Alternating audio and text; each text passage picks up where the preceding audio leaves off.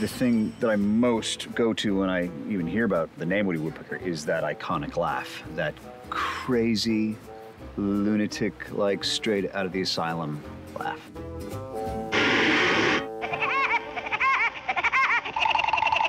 His laugh is an amazing signature. People may not remember the stories, but everyone recognizes that laugh. That's a laugh that would be recognized anywhere in the world. It's something so familiar. It's like hear my mom laughing, you know, for real. It's like in any famous pop song, there's a hook. Woody's laugh is a hook. It like gets in your brain, and anybody can do it. Oh, the laugh. It just, yeah.